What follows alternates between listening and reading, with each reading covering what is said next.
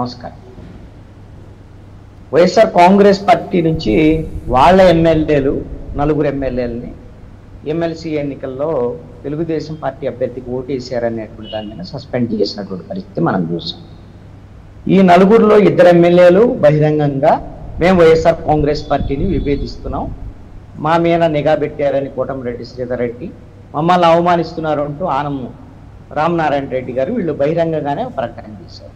అయితే ఉండవల్లి శ్రీదేవి గారు తాటికొండ ఎమ్మెల్యే అదేవిధంగా ఆనం చంద్రశేఖర్ రెడ్డి గారు.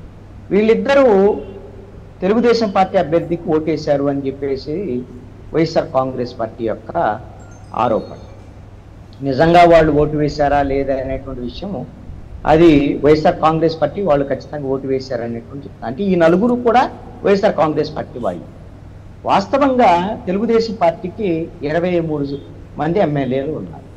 ఈ ఇరవై మూడు మంది ఎమ్మెల్యేల్లో నలుగురిని వైఎస్ఆర్ కాంగ్రెస్ పార్టీ తెలుగుదేశం పార్టీ దగ్గర నుంచి వాళ్ళని దూరం చేసింది. వాళ్ళని వైసీపీలో చేర్చుకున్నారా? లేకపోతే కండవ కప్పారా? లేకపోతే ఏ విధానాన్ని పాటించారు? ఏం చేశారు? ఇవన్నీ అందరికీ తెలిసినటువంటి బహిరంగ రాసింది వాళ్ళ దగ్గర పంతొమ్మిది సీట్లు ఉన్నాయి.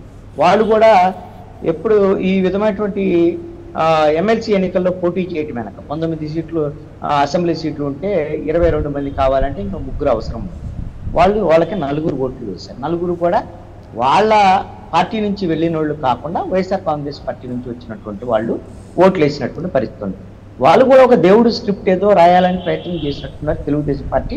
ఆ విషయంలో బహుశా వాళ్ళు సక్సెస్ అయినట్టున్నారు. జగన్మోహన్ రెడ్డి గారిని వాళ్ళు కూడా ఫాలో అవుతున్నారు. ఎందుకంటే రెండు వేల పంతొమ్మిది ఎన్నికల్లో ఆయన చెప్పాడు కదా మా దగ్గర నుంచి ఇరవై మూడు మంది ఎమ్మెల్యేలను తీసుకెళ్ళారు. వాళ్ళకి ఇప్పుడు ఇరవై మూడు మంది ఎమ్మెల్యేలు వచ్చారు. ఇది ఒక దేవుడు స్క్రిప్ట్ అని చెప్పేసి ఆ రోజున చెప్పారు కదా. మూడు ముగ్గురు ఎంపీలు వెళ్ళారు. ముగ్గురు ఎంపీలు వాళ్ళు గెలిచినట్టున్నారు ఇప్పుడు కూడా రెండు వేల ఇరవై మూడో సంవత్సరంలో మార్చి ఇరవై మూడో తేదీన జరిగినటువంటి ఈ ఎన్నికల్లో ఇరవై మూడు మంది ఎమ్మెల్యేలు తెలుగుదేశం పార్టీకి ఓట్లేసి గెలిపించారు. మరి ఇది ఈ విధమైనటువంటి దేవుడి స్క్రిప్ట్ ఎలా ఉంది అని చెప్పడానికి మరి వాళ్ళు చేశారేమో తెలియదు. మొత్తానికైతే దేవుడి స్క్రిప్ట్ ఆ, రోజున జగన్మోహన్ రెడ్డి గారు చెప్పింది ఇప్పుడు ఇది కొత్త రకమైన స్క్రిప్ట్ నడుస్తుంది.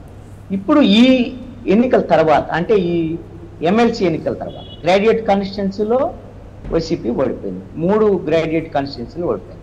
అదేవిధంగా వాళ్ళకి అవకాశం ఉన్నప్పటికీ కూడా ఒక తెలుగుదేశం పార్టీకి సంబంధించినటువంటి అభ్యర్థి గెలవటం వైసీపీ ఓడిపోవటం అధికారంలో అధిక ప్రభుత్వం అధికారంలో ఉండి వాళ్ళ ఒక అభ్యర్థిని గెలిపించుకోలేకపోవటం అనేటువంటిది ఈ రోజున వైఎస్ఆర్ కాంగ్రెస్ పార్టీకి సంబంధించినటువంటి ఓటమి అనేటువంటి ఈ జారుడు బండం మీద ప్రయాణం అనేటువంటి వైఎస్ఆర్ కాంగ్రెస్ పార్టీ ప్రారంభం. ఇప్పుడు ఏం జరగబోతుంది? ఇక్కడ తెలుగుదేశం పార్టీ నుంచి ప్రతినిధిగా వచ్చినటువంటి గాయత్రి గారు పేరు నేను మర్చిపోయాను. చెప్పారు మీ పార్టీకి ఇంకా ఎవరన్నా ఉన్నారా టచ్లో అనే దాని మీద తెలుగుదేశం పార్టీ నుంచి మాట్లాడటానికి వాడు మొహమాట పడ్డారు. ఉన్నారని నేను అనుకుంటున్నాను. నాకు తెలిసి